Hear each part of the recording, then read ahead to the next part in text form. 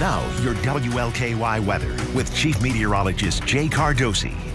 Okay, quite the soaking of rainfall last night through this morning. My goodness, here in town, officially 1.70 inches of rain. And uh, that's uh, the most rain we've seen in the last 10 to 11 days. Matter of fact, prior to last night and this morning, we had that stretch of 10 days in a row with absolutely no rainfall. It was good to see after the flooding, of course. Nonetheless, for the year, we're well above average, about 11 and a half inches now for the year, and that's about three and a half inches above where we should be.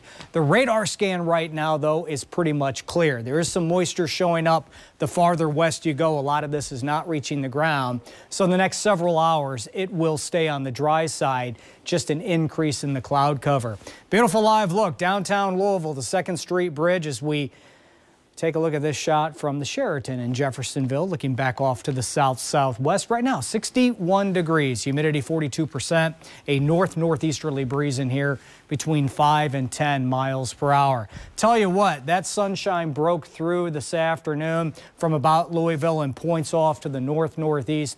Made for a beautiful Friday afternoon. The farther south you go, though, uh, there wasn't a lot of sunshine for E-Town, Bardstown, Hodgenville, Leitchfield, our southern communities staying gray and on the cool side, but at least we dried out everywhere throughout the course of this day. There goes last night and this morning's wave of rain, a new one now developing. Again, a lot of this in Illinois, southwestern Indiana, that's not reaching the ground.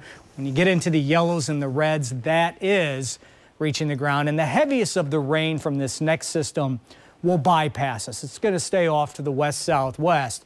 Having said that, yeah, a few light rain showers will become possible late evening through the early overnight across the viewing area. Best chances near Louisville and points off to the south. But by daybreak tomorrow, we're dry, just kind of overcast and cool as we wake up to upper 30s in our northeastern communities to the low and middle 40s elsewhere, right around 45 in downtown Louisville. Now, for your Saturday itself, I think tomorrow's the pick of the weekend, and here's why.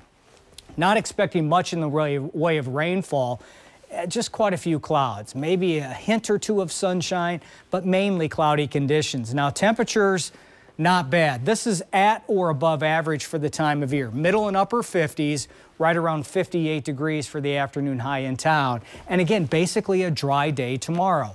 Sunday, it's not going to be a washout. I want to make that clear right now, but a couple of light showers or sprinkles will become possible across the area, especially as we move through the afternoon. On top of that, I think Sunday looks to be a cool day with upper 40s and low 50s for afternoon highs. So here's the weekend forecast now. We'll start off with your Friday evening. Turning cloudy, a few light rain showers possible late this evening as we drop through the 50s.